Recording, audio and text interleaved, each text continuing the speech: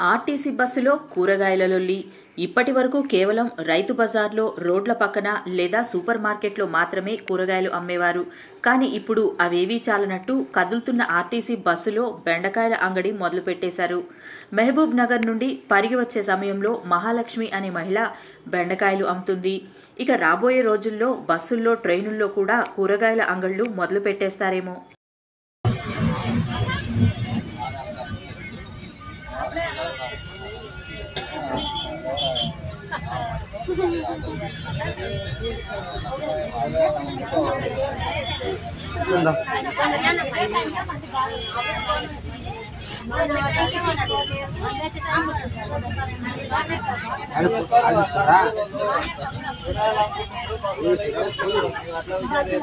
బస్సులో అయితే తిప్పలు పెడతాడా పంపిస్తాడా చెప్పాలి కారు లేదు ఏం లేదు వేసిన దగ్గర అనుకున్నా